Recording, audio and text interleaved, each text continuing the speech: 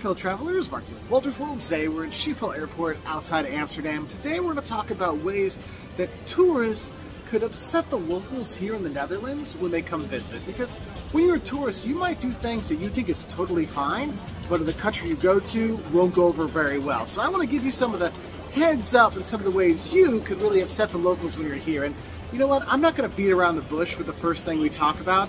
And the first thing that might upset people is if you beat around the bush. Look, you have to realize the Dutch are very straightforward. They are very forthcoming. They are very honest, and they expect everyone to be that way. And so sometimes when people come to the Netherlands, they feel the people are kind of rude or they're just really, really direct, and, and they are. That's how it is here. And if you're not, you know, forthcoming to them, they kind of take that the wrong way. So they don't like the passive aggressive stuff. They don't like, you know, people talking behind their backs. They want to know what people think right away. So don't beat around the bush because if you do and you're not forthcoming, that kind of makes the Dutch a little unhappy with you. And, and I think another thing that kind of upsets the locals is if a, a tourist or a foreigner, them they come and visit and they get upset about the honesty. Look, the Dutch aren't always PC, I'll tell you that right now.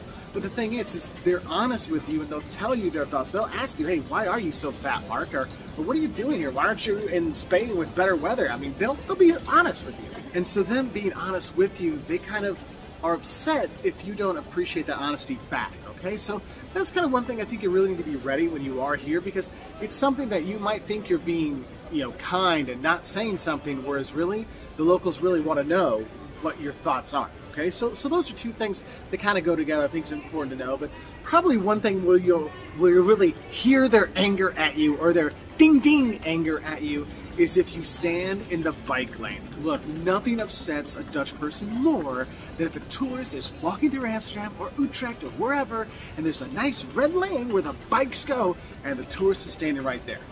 Look, you will get the ding ding ding, and you might get hit by a bike, and no one is going to care. Look, you could get killed by the bikes. Nobody's to cry for you. They're to be even more upset with your corpse because now your corpse is lying in the bike lane.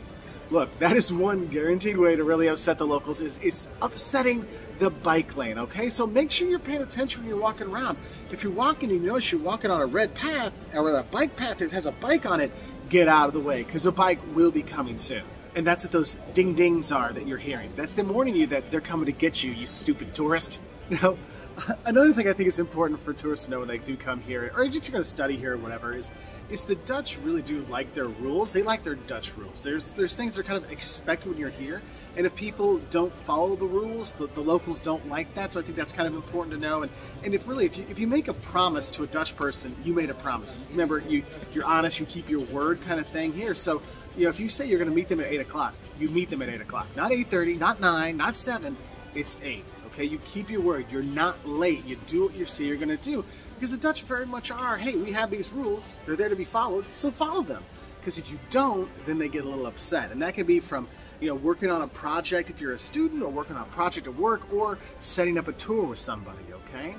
Now, another thing I've seen that's kind of upset some of the locals from other tours when they come to visit here is when tourists think that all the Dutch are smoking dope and doing drugs all the time because of the reputation of Amsterdam, the coffee houses, and the red light districts and stuff like that.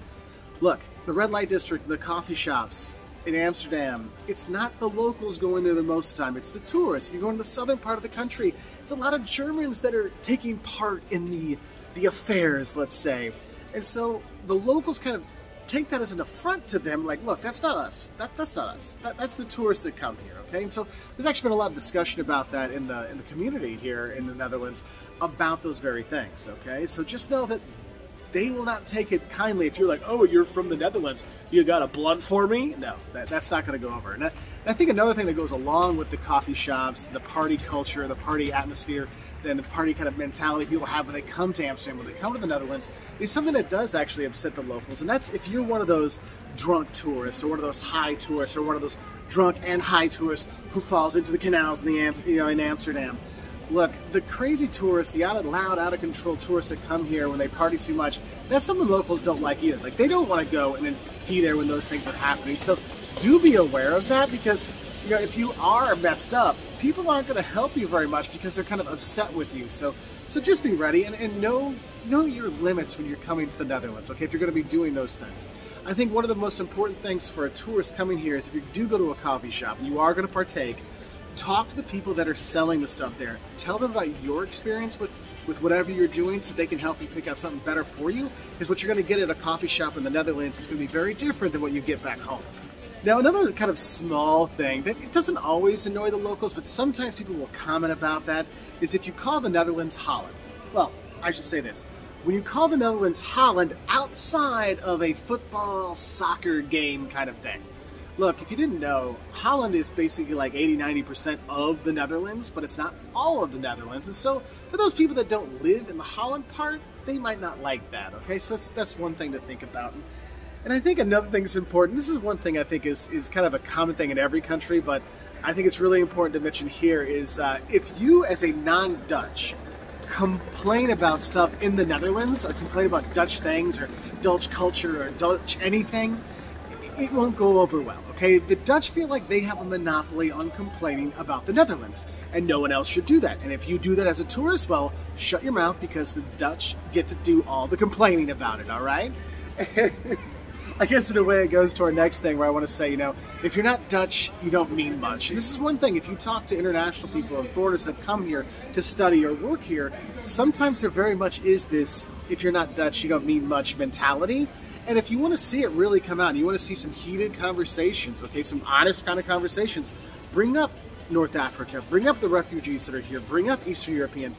These are things that are like really buzz topics that will really get people going and talking and really heated in their discussions about these things. So that's that's that's something you got to think about. But it is one of those things that people that come here realize that the Dutch have the Dutch, and then there's everybody else. Okay, so if you're not taking that into consideration, you might see that they might get a little upset with you. Which is interesting because when you try to integrate, like if you're trying to speak Dutch, I think that's another thing that kind of annoys the, the Dutch when you're here is if you, as someone who's not a native Dutch speaker, tries to speak Dutch or tries to begin sentences in Dutch, you'll notice that the locals here go straight to English.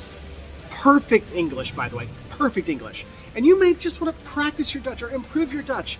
And the people are like, dude, stop speaking Dutch, go to English. I'm way better at my English than you are on your Dutch. Yeah, they are. The Dutch are 10,000 times better at their English than you at your Dutch. But the thing is, it's hard for you as a, as a foreigner here, as a visitor here, as a tourist here, as a you know someone studying here to learn language because the locals get kind of annoyed when people don't switch to English. So that is one of those things that is kind of funny. That usually like, oh, I'm trying, they're like, yeah, yeah, yeah, stop, just go to English, okay? Um, and I think um, one of the Dutch culture things that sometimes can bring up a little bone of contention with people is if you're coming around Christmas time and you see Black Peter or Zwarte Piet, um, let's just say this: just go, yeah, he's from Spain, and just drop the subject because it's just it's just not going to go well. All right. And then I think the, the last one I want to talk about ways that you can annoy your Dutch friends very quickly is if you surprise them.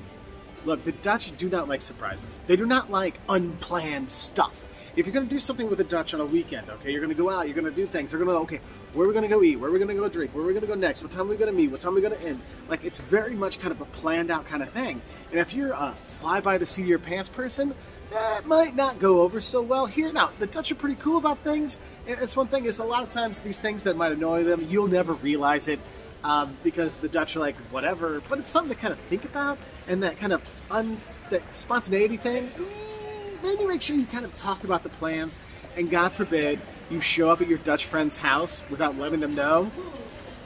You might as well just just don't just don't do that, okay? Because the locals will not like that. All right. So these are just some things that I've seen in all my visits here in the Netherlands. Like little things that tourists do that might annoy the locals. Not, they won't annoy everybody, and, and I'm sure there's other things that do annoy the locals please put in the comments section below so we can help tourists that come to the Netherlands do a better job of learning more about this beautiful country and the wonderful people that are here. And yes, they are very straightforward. They are very honest. But you know what? They have some of the best sense of humor you'll find in Europe. So enjoy your time here. You will love it from the beautiful cities to the fantastic food to the crazy people and all the fun stuff in between. Anyway, I wish you all the best, and I'll say bye from here in Schiphol Airport, flying out after another fantastic visit to the Netherlands.